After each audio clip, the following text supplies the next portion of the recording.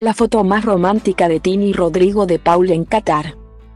Tini Stoessel llegó hace unos días a Qatar para disfrutar junto a su familia y amigos del Mundial de Qatar. Desde el partido entre Argentina y México se sumó a bancar a Rodrigo de Paul desde la tribuna. Ayer, ante Polonia, no fue la excepción y se la vio gritando los goles con la misma casaca violeta que usó el equipo. Pero hoy con el clima mucho más tranquilo en la selección, los jugadores se dieron un tiempo para ver a sus seres queridos a la espera del cruce del sábado por los octavos de final y Rodrigo de Paula eligió a su novia para pasar tiempo de calidad a su lado, recargando energías. Escribió el volante junto a la historia que subió a sus redes, donde se ve a la pareja muy acaramelada. Ayer Tini después del triunfo, que confirmó el pase de Argentina a octavos de final. Le dedicó unos tiernos mensajes a su novio en Instagram.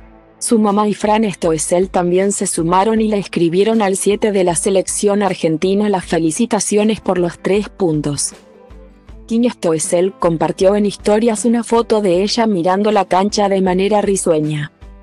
Cuando el marcador ya mostraba el 2 a 0 a favor de Argentina.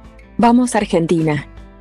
Escribió, junto a una lluvia de corazones celestes y blancos. También compartió el posteo de Rodrigo de Paul y le sumó un corazón blanco. El posteo del jugador de la selección argentina decía, soñemos.